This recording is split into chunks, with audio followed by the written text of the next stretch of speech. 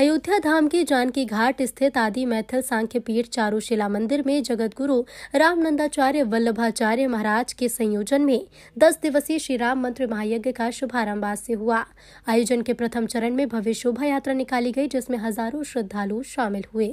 जगत गुरु रामनंदाचार्य की मानिए तो राम मंदिर फैसला आने के बाद अयोध्या में पहला मौका ऐसा धार्मिक अनुष्ठान होगा, जिसमें देश के कोने कोने से लाखों की संख्या में राम भक्त हिस्सा लेंगे।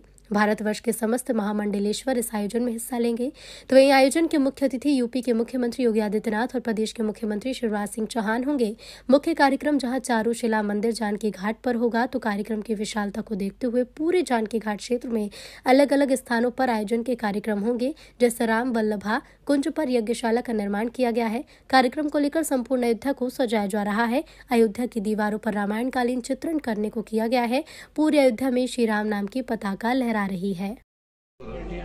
संपूर्ण भारतवर्ष के महामंडलेश्वर द्वाराचार्य जगतगुरु बता रहे हैं। आज भी अयोध्या धाम में लगभग पाँच से सात हज़ार लोग आ चुके हैं। कल तक की संख्या कितनी हो जाएगी, कोई ठिकाना? नहीं है।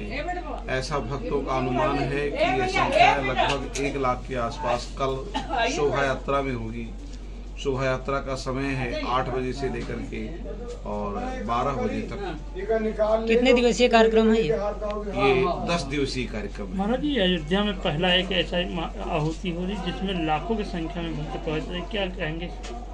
हाँ ये वास्तव में अयोध्या में ये पहला यज्ञ हो रहा है जिसमें लाखों राम भक्त पहुँच रहे हैं। एक प्रकार से महाकुंभ का दर्शन हो रहा है।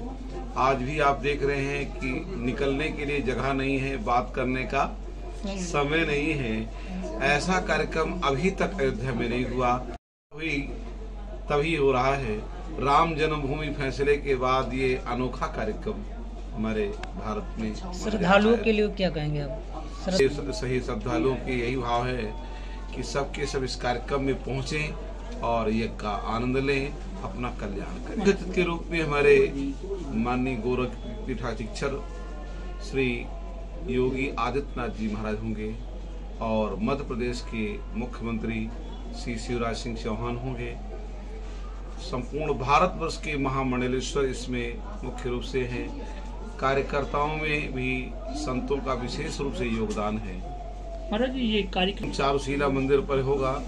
मुख्य केंद्र चारुशीला मंदिर है जानकी घाट में और संपूर्ण मोहल्ले में ही विस्तृत रूप से कार्यक्रम रखा गया है।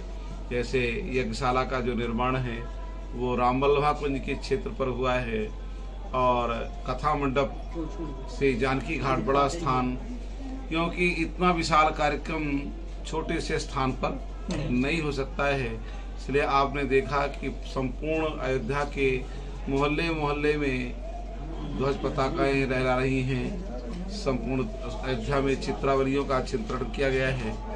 अद्भुत छवि है। गुरु रामानंदाचार्य स्वामी श्री वल्लभाचार्य आइडिया नहीं है। गुरु जी के गुरु जी के कार्यकारी अध्यक्ष है हाँ।